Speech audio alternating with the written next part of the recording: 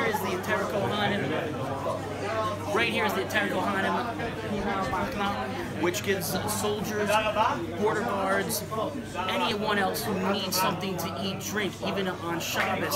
Uh, just have a little nosh. Right here, we brought our group with Young Israel, and they're taking full advantage of this and helping us out by buying tons and tons of Bambas. So when you're here, we expect you to do the same.